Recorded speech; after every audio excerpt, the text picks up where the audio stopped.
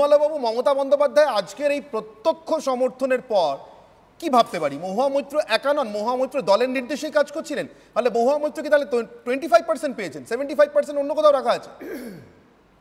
মানে দেখুন আপনাকে একটা কথা বলি। মমতা বন্দ্যোপাধ্যায় মমতা মানে মহুয়া মৈত্রর বিচারটা আমরা করে এখন কোনো লাভ নেই। এখন বিচারটা করবে মানুষ আর মমতা বন্দ্যোপাধ্যায়। হ্যাঁ। এই যে মহুয়া মৈত্র কি ট্রায়ালের মধ্যে দিয়ে গেছে ওইগুলো চর্বিত চর্বণে কোনো দাম নেই।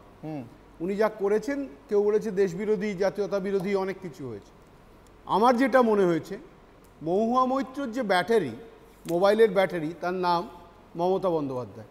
সেই ব্যাটারিটা শেষ হয়ে গেছে। কেন বলছেন কথা? হ্যাঁ এবার কেন বলছি আপনাকে আমি বলছি। কারণ মমতা বন্দ্যোপাধ্যায় এমন একজন রাজনীতিবিদ তিনি একটা জায়গায় ফেলে দিয়েছেন আমার মনে হচ্ছে যে তোমার ম্যাও তুমি সামলাও। আমি কিছু করতে পারব না ওকে আবার ক্যান্ডিডেট করছে। যার বিরুদ্ধে এত কিছু অভিযোগ রয়েছে মমতা বন্দ্যোপাধ্যায় তাকে ক্যান্ডিডেট করছে এবং বলছে জিতবেই। আমি তো সেই কারণে জিজ্ঞাসা করছি না তারপরেই বলছে কৃষ্ণনগরের সরপুরিয়া খুব ভালো। হ্যাঁ। আপনি বুঝতে পারছেন মমতা বন্দ্যোপাধ্যায়ের খেলাটা?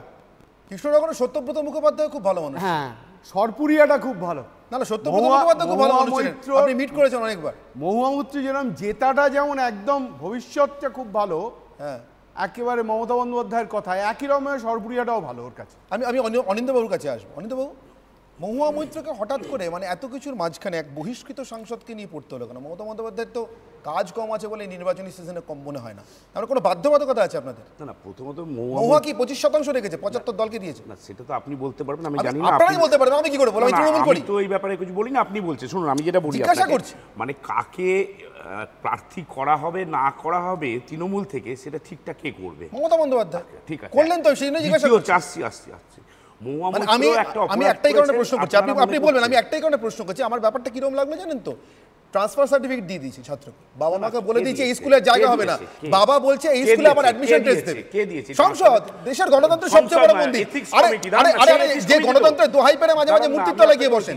মহাত্মা গান্ধী বি আর আম্বেদকর আপনারা তো গণতন্ত্র ট্যুরিজম করেন। আপনি কোন- আপনারা গণতন্ত্র ট্যুরিজম করেন তো। আমি বলছি সেই গণতন্ত্র ট্যুরিজমের মানে একদম শেষ যেটা শেষ যে উপান্তটা কি? শেষ লক্ষ্যটা। যেখানে শেষ হয় গিয়ে আপনাদের ট্যুরিজমটা সংসদ।